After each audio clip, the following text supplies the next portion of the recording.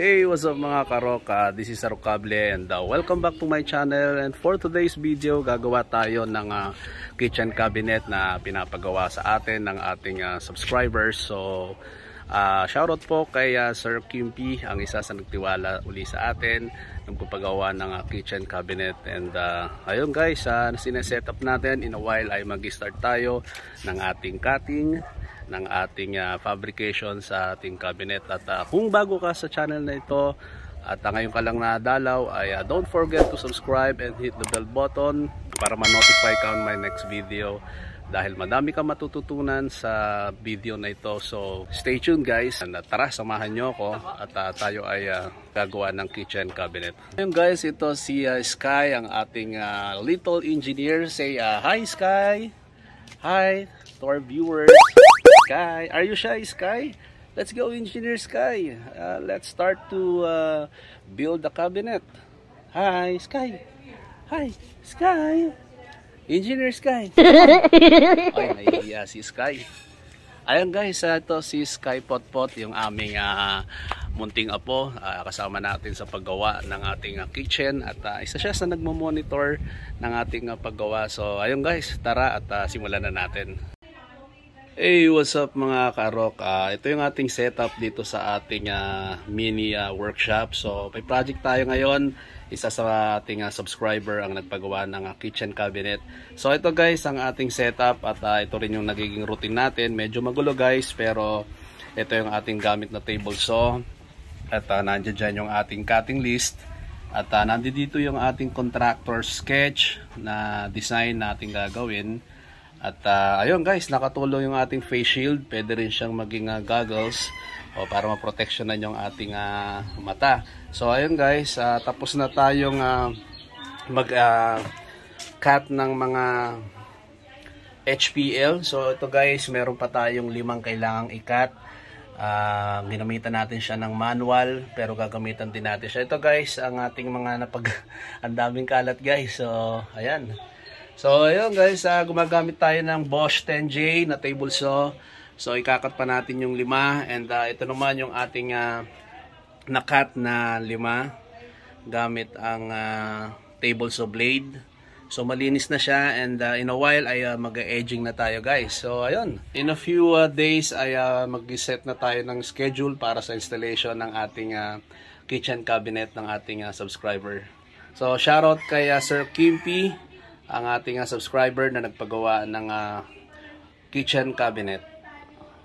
Ayun guys, uh, ito yung ating uh, laminate or uh, HPL na gagamitin para dito sa ating uh, marine board. So ilalaminate natin to guys ng buong uh, 4x8 na board para pag nagkat tayo ay uh, tuloy-tuloy tayo.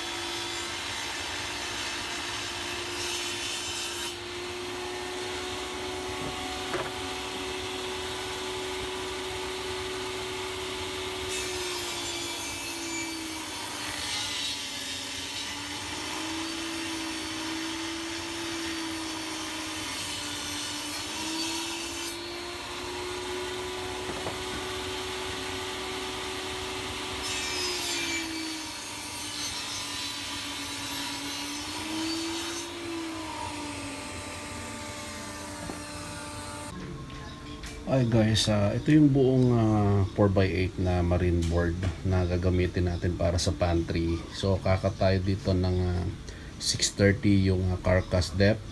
So gagamitan natin ng circular para dun sa pagcut ng uh, cross cut at uh, bubuo tayo ng uh, pantry cabinet doon sa top ng uh, refrigerator. So magkakatayo dito guys.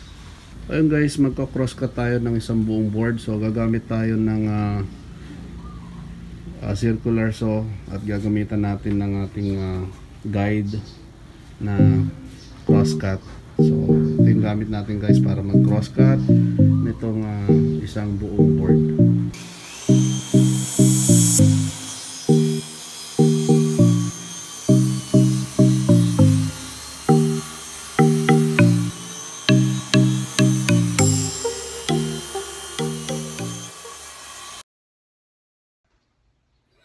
Ah, guys, ah, ito yung mga sampung side panel na nilaminate natin. Ah, nilagyan natin ng ah, contact ah, adhesive. So, ito ngayon yung isang part na lalagyan natin. At ah, guys, ito na nakapag-cut na rin tayo ng ah, mga HPL. So, lahat ng board na nakat ay meron na rin tayong ready na HPL para doon sa ating ilalaminate.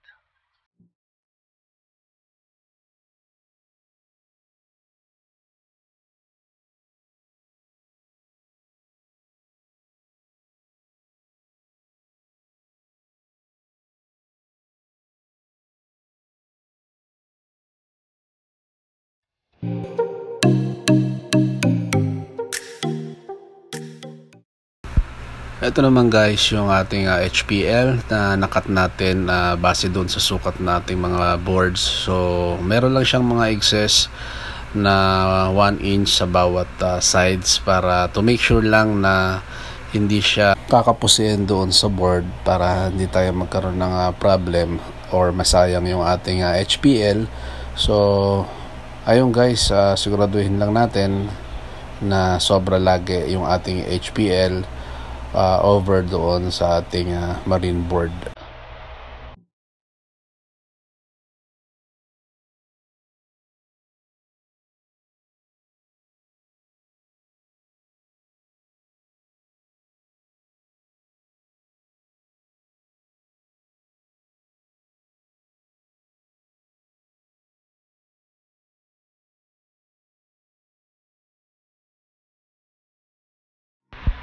So ayun guys, uh, ito yung ating uh, nalagyan ng uh, contact uh, adhesive na board at saka itong ating uh, HPL ay meron na ring uh, contact adhesive. So ready na siya guys para uh, idikit natin at uh, magkaroon na ng laminate yung ating uh, local marine board na siyang gagamitin natin sa ating uh, cabinet project.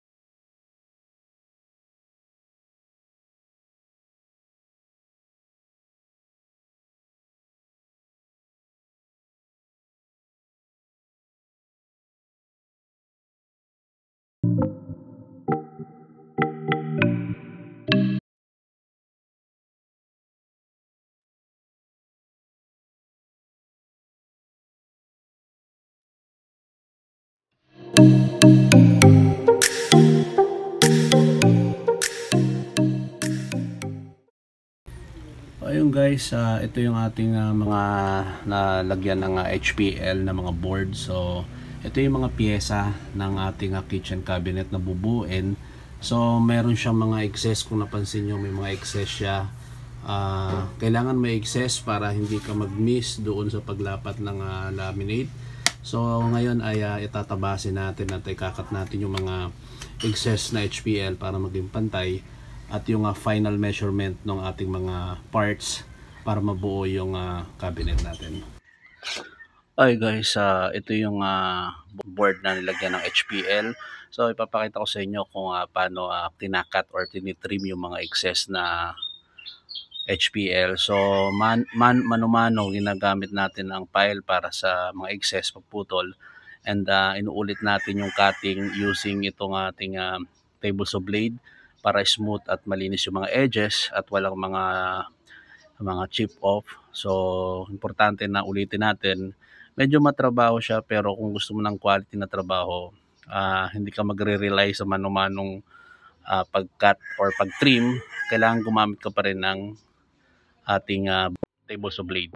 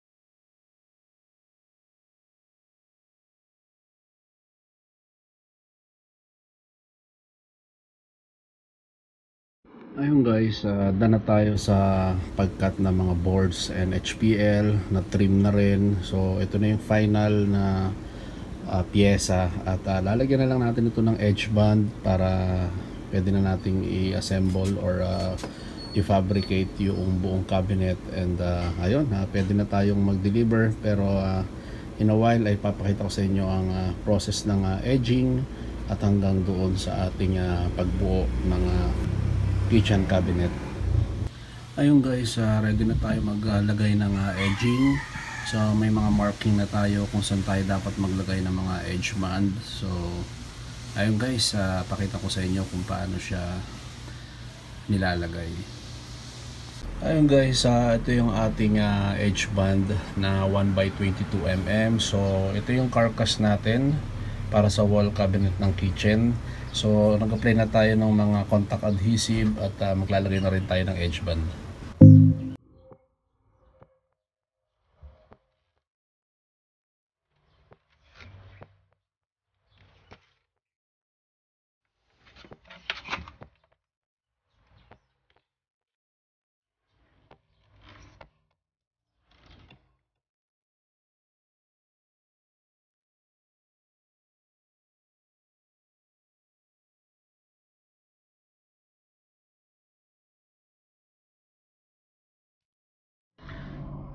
Hi guys, uh, ito yung ating uh, marine uh, na nilagyan natin ng HPL. So nakalaminate na ito guys. Ito na yung pyesa. So kung napansin nyo, iba-iba yung size niya. Dahil nandiyan dyan yung side panel, nandiyan dyan yung top and bottom panel. So iba-iba yung sukat niya. Pero pare-pareho siya ng depth guys with uh, 35mm. At uh, kung napansin nyo guys, ay na rin tayo maglagay ng groove. All the way hanggang dito ay mayroong groove para yan sa backboard na gagamitin natin. At uh, in a while ay uh, magkakabit na tayo or bubuuin na natin itong ating kitchen cabinet until uh, ma-install natin. So stay tuned guys at uh, i-update ko kayo sa ating uh, gagawing uh, kitchen cabinet. Ay guys. Uh, ito yung ating uh, bagong Bosch na 80 teeth para sa ating uh, melamine cutting. So Papalit na tayo ng uh, old uh, blade natin dahil meron na tayong nagawang 3 projects dito. So, kailangan natin itong palitan guys dahil magkakat tayo ng acrylic board na marine. Dahil medyo maselan yung acrylic. Kailangan bago yung ating uh, blade para walang chip off o siklat na tinatawag yung ating uh, ikakat na board. So guys, ito yung uh, papalit natin bago siya 80 teeth para sa melamine para fine yung kanyang uh, uh, pagkat at quality ayun guys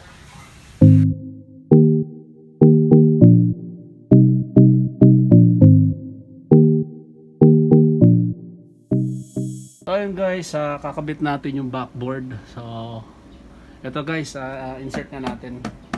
Kailangan pantay siya or sabay nyo siya ini-insert kung sakto lang yung groove natin. Ayun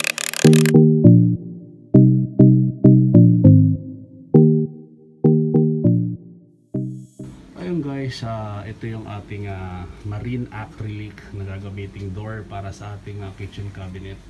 So ayun guys, may kamahalan itong acrylic na ito dahil uh, super high gloss ito. So ito yung gamit natin circular para doon sa ating uh, rip cut and uh, mamaya ay magko-cross cut tayo using uh, table saw So ayun guys, kung napansin nyo ay sobrang uh, kintab nito at uh, talagang uh, ika nga eh, make sure na tama ang mga sukat dahil uh, kailangan ma-maximize natin itong ating uh, acrylic board para sa magiging doors ng ating uh, kitchen cabinet.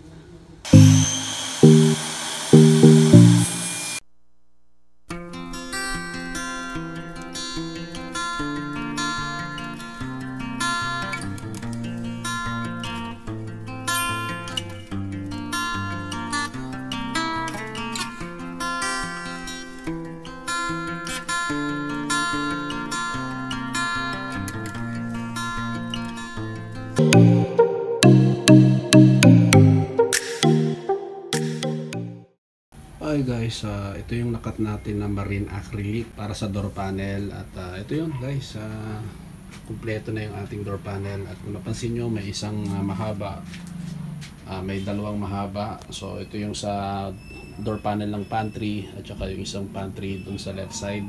So ayun guys, uh, kumpleto na yung ating door panel. So ayun guys, ah, ito yung ating ah, door panel para sa ating kitchen cabinet. Ah, ito yung ah, acrylic marine board. So meron na tayo mga edge band na nalagyan ng contact ah, adhesive. At uh, in a while ay kakabit natin at papakita natin sa inyo yung ating ah, finished ah, products.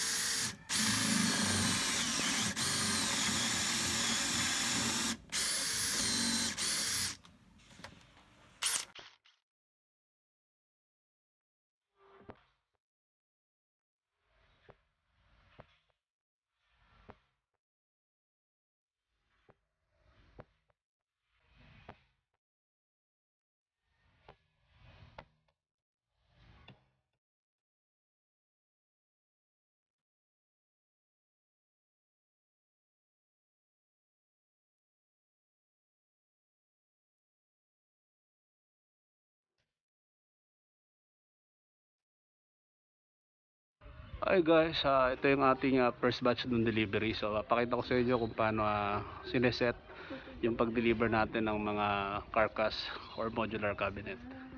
Pabala. Ayun guys, ah, dito yung mga tropa pips natin. Actually, mga pamangkin ko yun. Oh. so, ayan.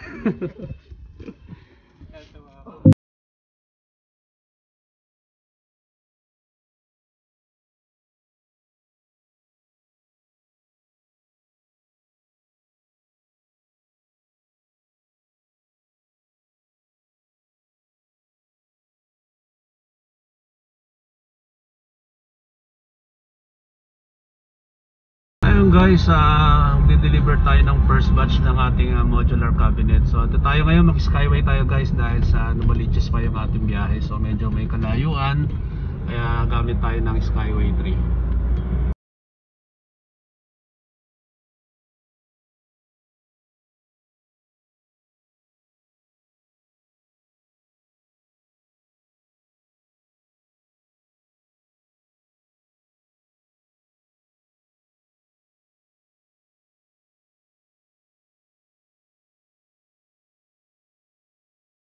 Mahaba yung video and process ng ating ah, kitchen cabinet ay ah, gagawa tayo ng part 2 para sa installation and ah, second na deliver natin ng ating ah, mga carcass. So ah, stay tuned guys dahil sa part 2 ay papakita natin kung paano ang installation at ah, resulta ng ating ah, gagawing ah, kitchen cabinet. At kung bago ka sa channel na ito ay ah, don't forget to subscribe and hit the bell button para ma-notify ka on my next video dahil ah, marami kang matututunan at kung paano gumawa ng mga DIY projects.